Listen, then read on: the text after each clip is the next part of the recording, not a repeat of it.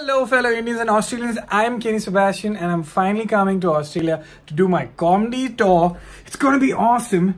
It's Diwali time, guys. So why don't you just treat yourself to some laughter and some enjoyment? I'm gonna do some jokes, some music. It's one hour. It's a comedy special. It's gonna be lovely. Just come. Trust me.